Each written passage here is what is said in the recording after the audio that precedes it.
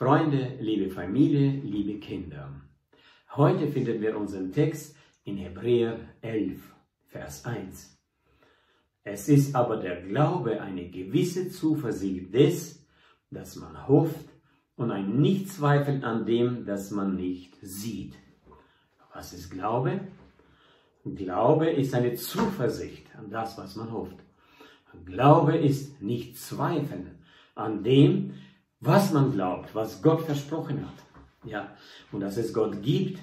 Wir lesen weiter in dem gleichen Kapitel in Vers 6, da steht es folgendes, aber ohne Glauben ist unmöglich, Gott zu gefallen. Denn wer zu Gott kommen will, der muss glauben, dass er sei und denen, die ihn suchen, ein Vergelter sein werde. Man muss glauben, dass es Gott gibt. Es ist so wichtig und dass er nicht nur irgendwo gibt, dass er heute noch in unserem Leben dabei ist.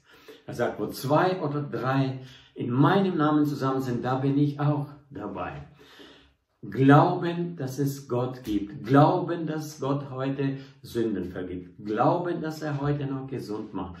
Glauben, dass er sich in unserem Leben beteiligt.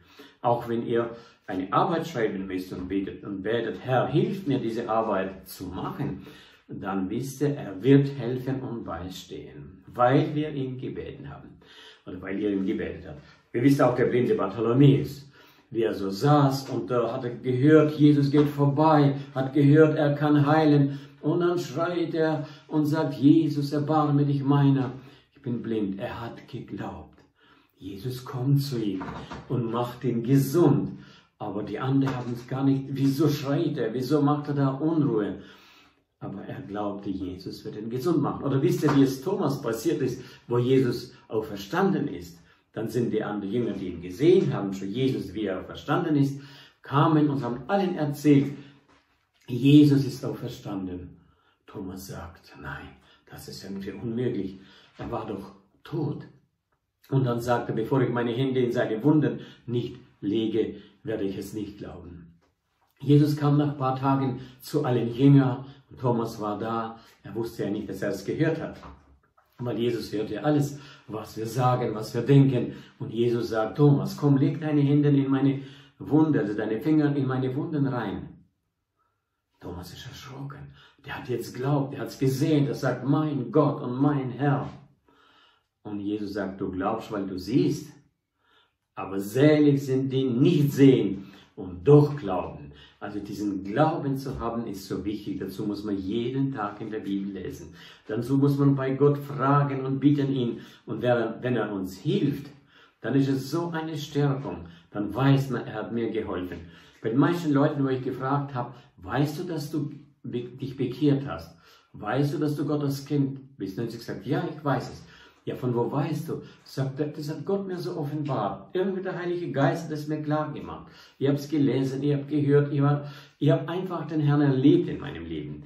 Das ist so wichtig, aber weil man es glaubt. Wenn man glaubt, dann ist man auch sicher, dass der Herr hilft. Und äh, wo ich noch ein Kind war, und da hat meine Mama mir gesagt, bete für mich. Ich habe da auf meinem Knie so eine Verhärtung, so eine Beule, die so hart war und sie konnte dann auch schlecht laufen.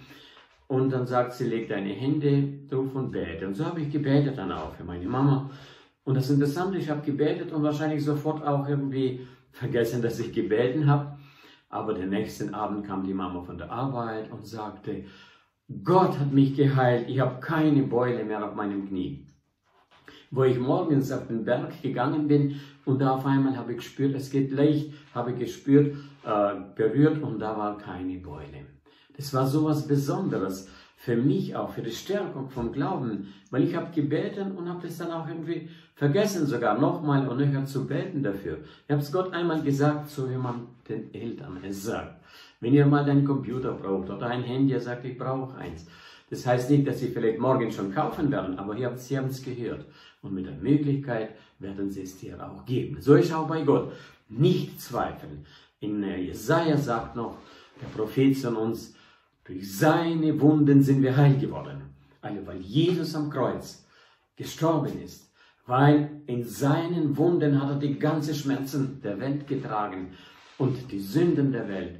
Und durch diese Wunden sind wir heil geworden. Das heißt, wir glauben, durch ihn sind wir gesund geworden. Und das ist so wichtig zu glauben. Betet und glaubt es. Je mehr ihr so Erfahrungen sammelt, dass der Herr hat hier geholfen, hier hat er gesund gemacht, hier hat er in der Arbeit geholfen, hier war er einfach dabei, so werdet ihr auch glauben und nicht zweifeln. Und wisst, ohne Glauben kann man Gott nicht gefallen. Und in Johannes, Johannes 15 heißt es, wenn wir aber nicht glauben, dann machen wir ihn zum Lügner. Ja, wird wohl Gott an uns wohlgefallen haben, wenn wir ihn als Lügner machen und ihm nicht glauben. Nein, wir glauben. Und wir wollen weiterhin beten. Und auch wenn jemand schwach ist im Glauben, sage ich, bete für dich. Ich werde dir helfen, dass du auch stark bist im Glauben. Das ist so schön. Ich wünsche euch einen sehr schönen Tag und bitte euch, glaubt und ermutigt auch eure Mitmenschen zu glauben an Jesus. Noch einen schönen Tag wünsche ich euch.